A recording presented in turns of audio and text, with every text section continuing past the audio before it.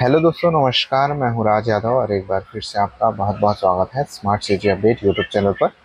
दोस्तों, बड़ी खबर है सीजीपीएससी की ओर से।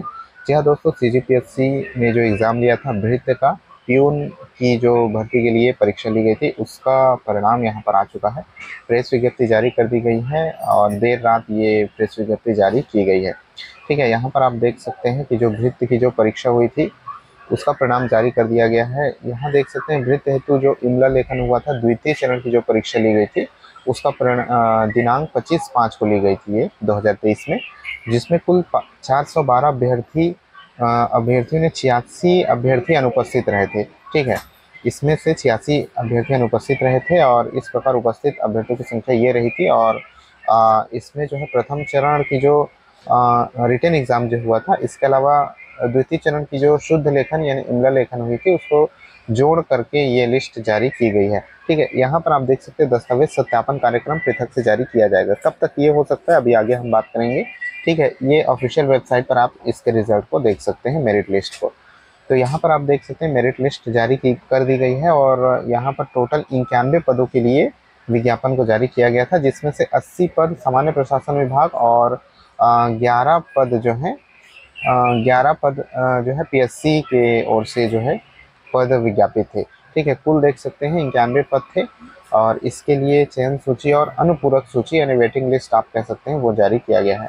ठीक है, नाम की लिस्ट इस प्रकार है। नाम की लिस्ट यहाँ पर से आप देख सकते हैं। ये हमारे टेलीग्राम चैनल पर आपको पीडीएफ उपलब्ध हो जाएगा। टेलीग्राम चैनल का लिंक नीचे डिस्क्रिप्शन बॉक्स में दिया हुआ है।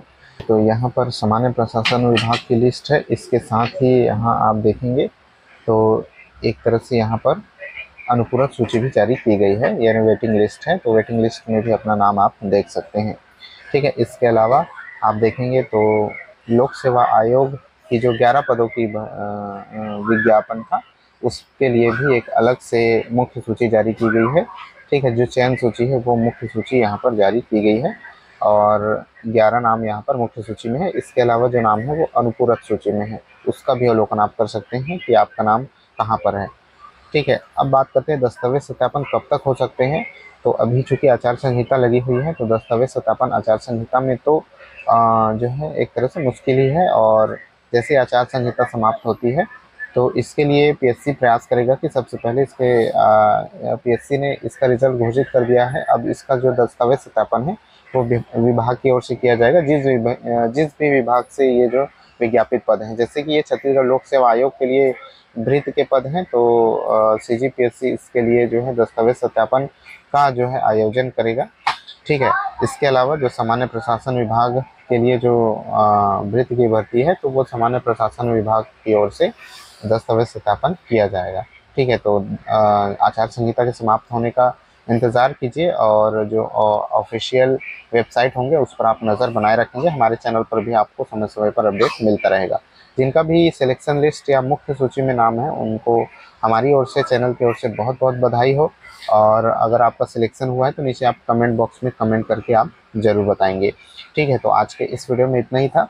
मिलते हैं आपसे नेक्स्ट वीडियो में। चैनल पर नहीं तो सब्सक्राइब कर लीजिएगा। तब तक के लिए जय हिंद।